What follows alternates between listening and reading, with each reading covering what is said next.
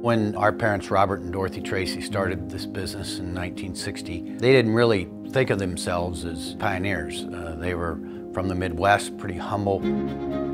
They created an environment, a culture that continues to be our, our most competitive advantage uh, that we have today. And they really didn't have any idea this business would get this large, and here we are today with three generations of Tracy family members involved.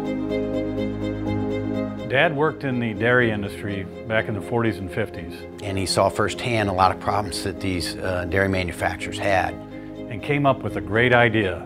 It was all about small order consolidation. He felt like this consolidation program could be a really good solution. This idea was too good to keep from the rest of the food industry.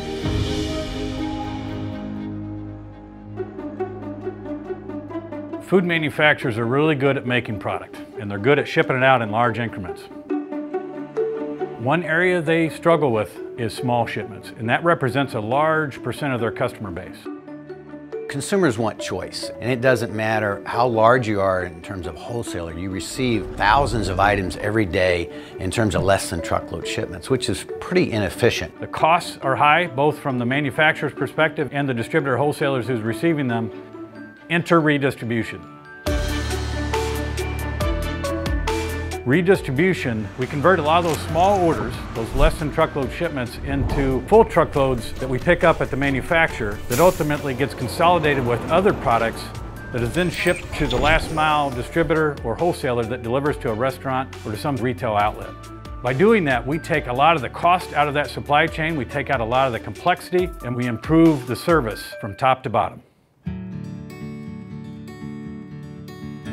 Concept of redistribution hasn't really changed from when we started the business in 1960 in a small town in the middle of the country called Mount Sterling, Illinois. We have a lot of customers that order a wide variety of items from us and receive those uh, weekly. One PO, one invoice that they receive, and one check that.